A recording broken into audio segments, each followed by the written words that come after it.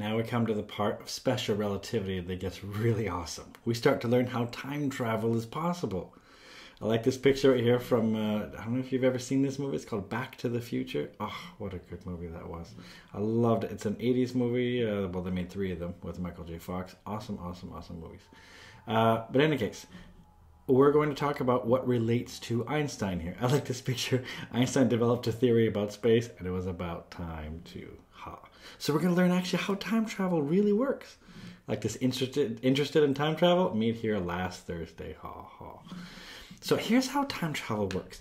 It's very specific. It's called time dilation. Dilation implies something that sort of, um, well, you could say uh, to dilate means to sort of something to open up. Uh, you know, like just like contract means to sort of um, go smaller. For example, your pupils can dilate, uh, they can sort of contract or constrict. Uh, so in this case right here, the only way you can really go forward in time is relative to someone else because there's no real absolute time.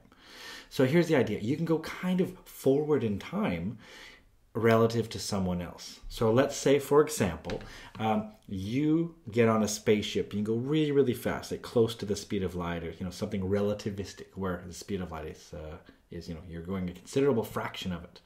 Let's just say you go near the speed of light for a long time, let's say a couple of years, and you come back to Earth. It really does mean that the time that you will have aged will be different than the people on earth. So, in that sense, when you come back, they will have aged more than you will have. Therefore, it's like you went forward in time because you'll think maybe only a few years went by where everybody else thinks a lot of years went by. That's why, again, we call it relativity because it's all relative. So, you only go forward in time relative to someone else. So this is how it's going to work. So we have this really simple equation. What I love about Einstein, he was a master at so many things, but his equations sometimes were so short and to the point and powerful. Just like E equals mc squared, right? What a simple equation. Yet that's like, that's how stars work and how nuclear explosions and reactors work. I mean, it's insane. So in this case right here, we have delta T equals gamma delta T zero. So what that's going to be is delta T here is going to be the time measured by a stationary frame. Uh, this, let's say it could be in seconds, or it's often in years if you're doing like time travel things with spaceships. Uh, now, delta t zero, notice a little subscript zero here. That's a time measured by a frame where the events happen in the same place. We call this the proper time. This is going to be a key word here we need to know about. So it's called proper time. Okay, that's this delta t zero here, proper time. So that's the key one right here. Okay, and then we have this Lorentz factor, of course, which we learned about in another video. Uh, that's where we have this gamma. Don't forget what gamma is, right? Gamma is, uh, let me just write it down in case you forgot. Don't worry, gamma is uh, 1 over 1 minus v squared over c squared, and it's square rooted. You can look this up. You don't have to memorize it. Um, so that's what this gamma is. It's a Lorentz factor.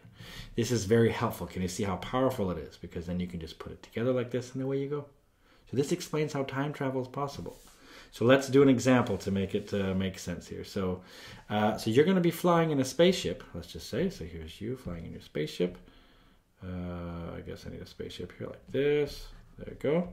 And this is you in your spaceship. So you flying in your spaceship, you're going at a speed of 0.9 c, but this is measured by someone on Earth. So someone on Earth thinks that you're going 0.9 c. Okay, so this is like your buddy, your friend, someone over here on Earth. They're gonna think uh, that you're flying by here. So maybe this is uh, you. Maybe there's two girls. It doesn't matter, right? Let's not be sexist. Um, so if we go like this, you're uh, flying in your spaceship uh, compared to uh, at a speed of 0.9 c, so 90% the speed of light, and you're gone for 10 years again as measured by someone on Earth. So after those 10 years, you return to Earth, which means at some point you went and then maybe then you came back. Okay, and the person on Earth thinks that the time was 10 years. So how long will you think the journey took? So again, the key thing is, is just to write down the equation right here. Delta t equals lambda, uh, sorry, gamma delta t zero. Let's write that down.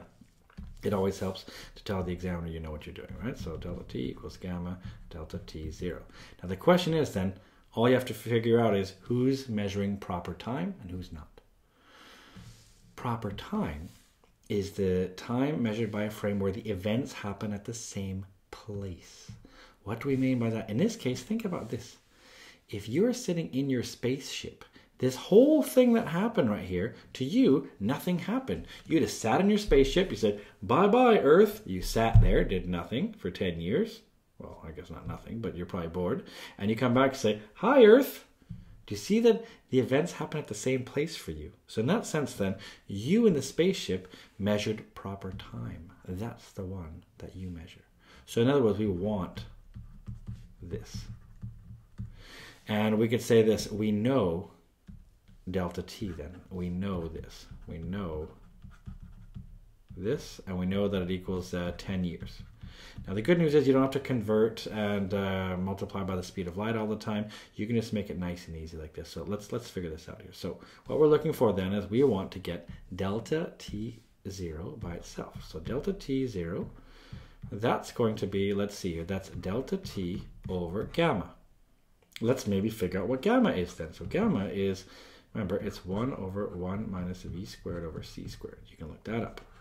So because we know the speed is, what was it, 0.9 c, so we can say 1 over 1 minus 0.9, but it's supposed to be c, and all that is squared over c squared. And square rooted, of course. I just want to show you this, because after you've done it a long time, you'll get used to doing this, but I just want to show you how we do this. So don't forget the 0.9 has to be squared as well as a c squared. So 0.9 times 0.9 is going to be 0.81, and that's going to be c squared over c squared. Do you realize the reason why we do this is the c squareds will cancel out. Don't forget there's a square root here.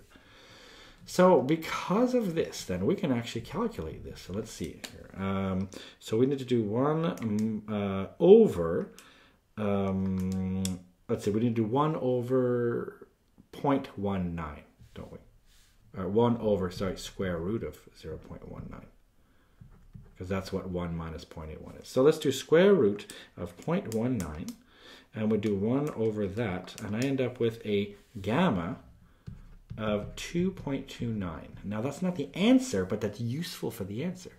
Because can you see now finally I can do my final solution. My final answer here is going to be delta t0 equals, let's see, delta t, which is a time measured by Earth, so that would be 10 over my gamma, which is 2.29 and let's see what happens here. So 10 over this answer, that gets me 4.36, let's say, years.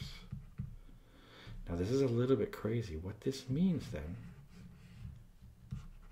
think of this. So when you did your trip, you ended up thinking it only took 4.36 years. And yet everyone else on Earth thinks it was 10 years. Like they really will. So in other words, if you had a twin or something like that, they really will have aged 10 years. You'll have only aged 4.36 years. So in that sense, can you see you went forward in time? Do you see that what happened? You went forward in time, if you think of it.